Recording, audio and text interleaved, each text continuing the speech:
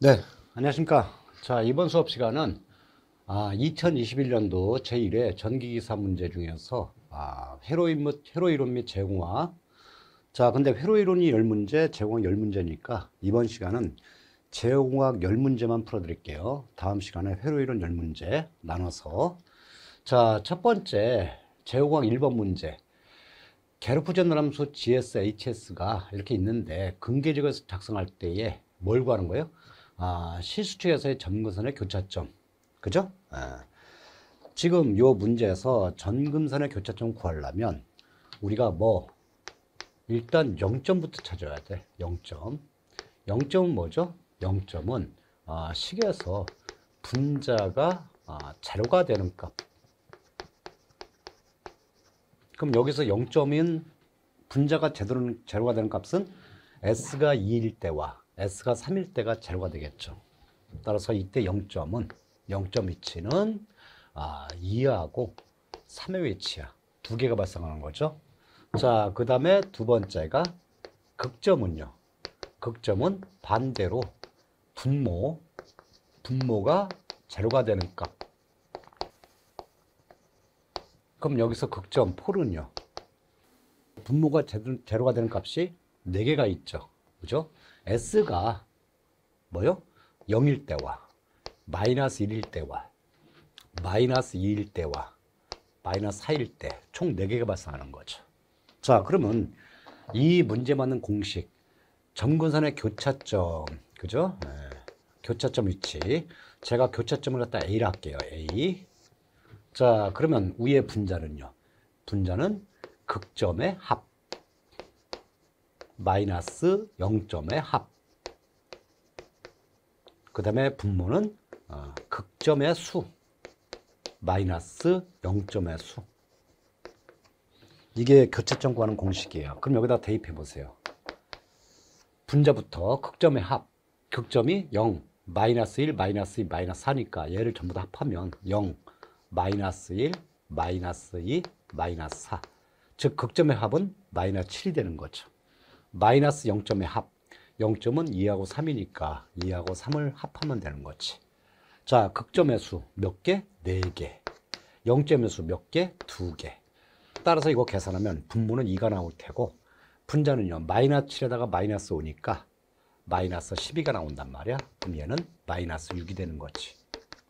그렇죠? 아, 정답은 마이너스 6. 자, 그 다음에 2번 문제.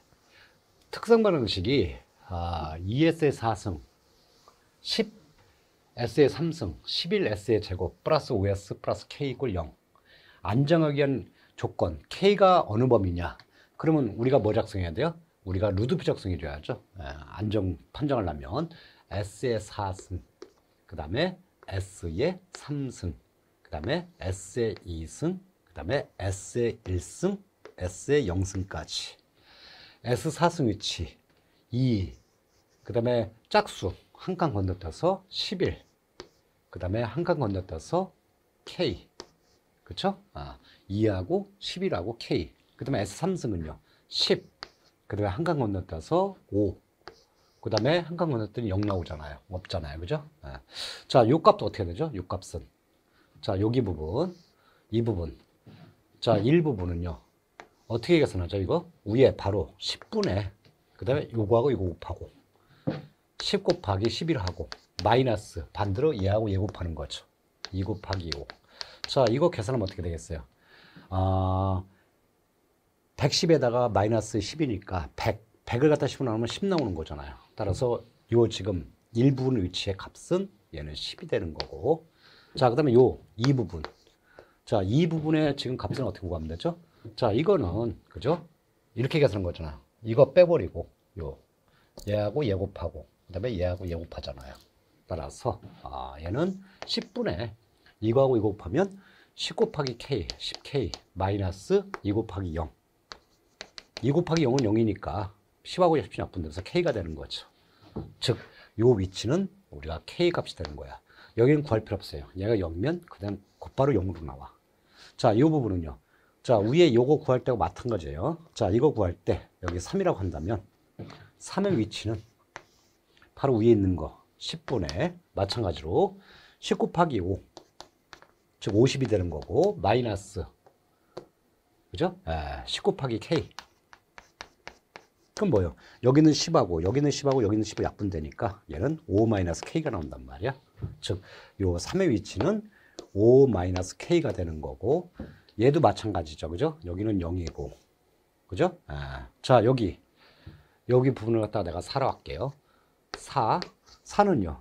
당연히 위에 요거 빼버리고 그죠? 아, 10분의 10 곱하기 0 마이너스 또 10 곱하기 0이란 말이야. 0이 되는 거야. 사실은 내가 일일이 이렇게 계산했지만은 0, 그 다음에 0 이렇게 나오는 거죠. 자, 요 부분은요.